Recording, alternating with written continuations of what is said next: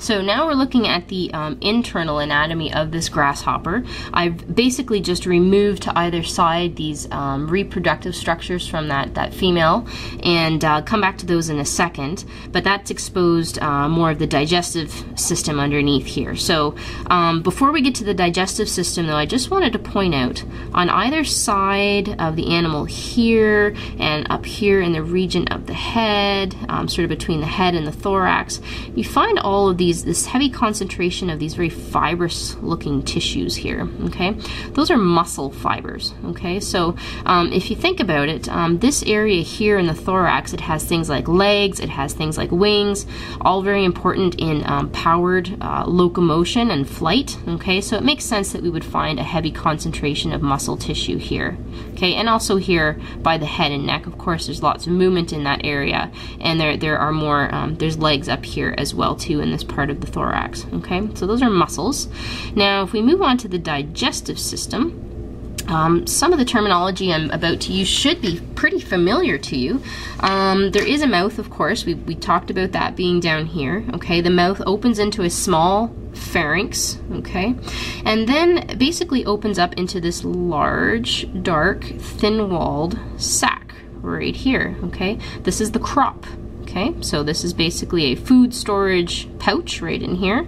Below the crop, we find this lighter colored, thicker walled structure, and that is the gizzard. Okay, so we've seen both a crop and gizzard in earthworms as well. It's a similar setup here.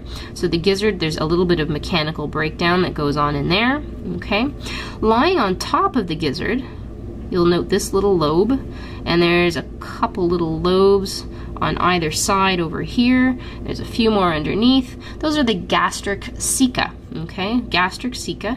And the ceca are uh, responsible for producing digestive enzymes. So again, um, these are sort of the, the livers in a sense, and they produce digestive enzymes which are used by the stomach to break down the food.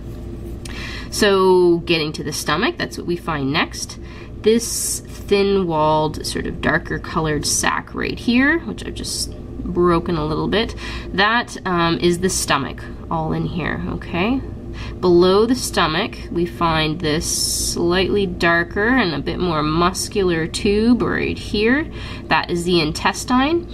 And the intestine opens out to a short uh, rectum and an anus. Okay, so nice complete digestive system lying on top of the sort of at the junction of the intestine and the stomach, we find this sort of coil of they're actually very thin little fibrous little tubes, little filaments all in here, okay? Those are called Malpighian tubules. Okay, Malpighian tubules.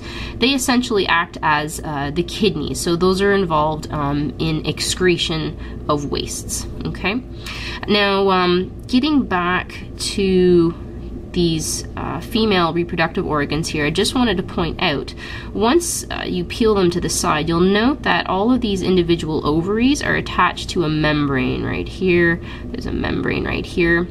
It's actually a tube. Um, those are oviducts. Okay, so as again, as we've seen in other animals, um, eggs are produced in the ovaries. They pass down oviducts, and they're they're released out a genital pore. Okay, so um, so it's a, it's again a similar setup to what we've seen in in other things. And I think uh, for the uh, grasshopper, this is all we're going to have a look at today.